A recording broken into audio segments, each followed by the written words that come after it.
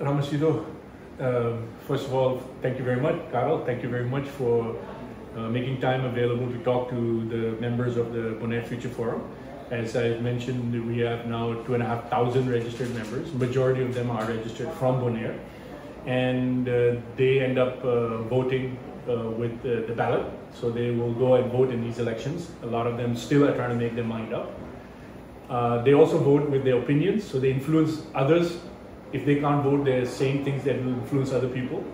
And of course, they're also voting with their wallets. They're yes. spending money on the island. So these are people who actually really care about the future of the island. I think it's really important for them to hear from uh, uh, UPB about its work on the island, its history on the island, and its plans for the future.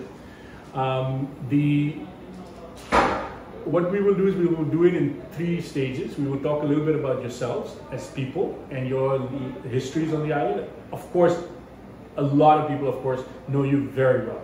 Yes. Uh, but there are people who may not know you as well as they would like to. They know you in name, they've seen you in pictures, they've seen you in some other things, but they don't know your personal story. And, and quite honestly, they want to know, of course, you care about the island, but why do you care so much? Why does it matter to you? They want to know about why did you end up in politics. It's not like you guys also didn't have choices. I mean, you had choices. In fact, you've taken these things on at a price. Definitely. I mean, we know that at serious prices. Especially, so this, uh, yeah. So we know the prices that were paid, and you did it.